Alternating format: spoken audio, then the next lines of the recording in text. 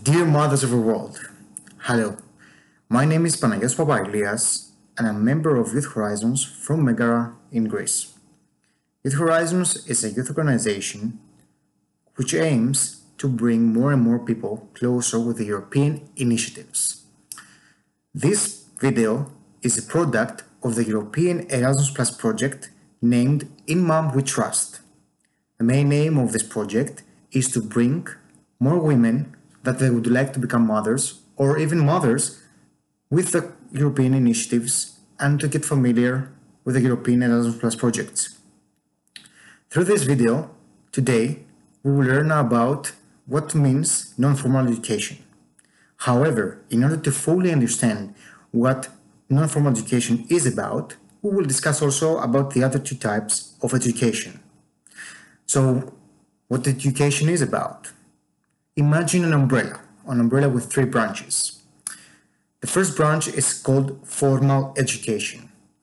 The formal education is that education which we, as individuals, we followed since we were young. It was named school in the beginning, afterwards high school, afterwards university. So it's what we call obligatory education, and it's a type of education that we are gaining through these institutions. Now we are going to the second branch, which is informal education. Informal education is the education and the information that you are gaining throughout your lifetime when you are not planning for it. For example, let's uh, imagine yourselves that you are scrolling through your YouTube feed and you are stepping on this video. And like that, you are starting to learn about Erasmus Plus videos. Well, this is included in informal education, and it is the education that you and the information you gained without planning for it.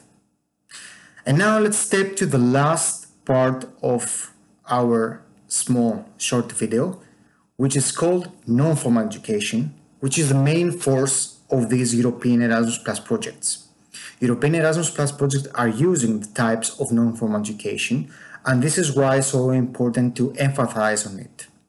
Non-formal education is still education, however, it's an education that we choose to follow. Well, all the events implemented by European Erasmus Plus projects are happening and taking place voluntarily and it's not obligatory to be attended from someone. What do I mean by that? Well, in non-formal education sceneries, we don't have the vision and the picture of a typical classroom.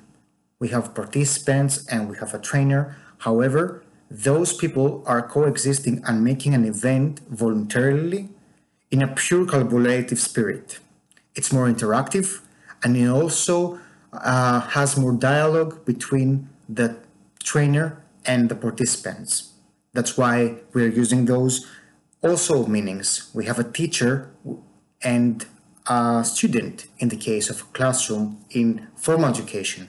However, we have a participant and a trainer in the non-formal education, which is also included in Erasmus Plus projects. We really hope you found this uh, video helpful and we really uh, would like to have some comments. Please send them below. Thank you for watching and see you in the next video. Until then, bye-bye.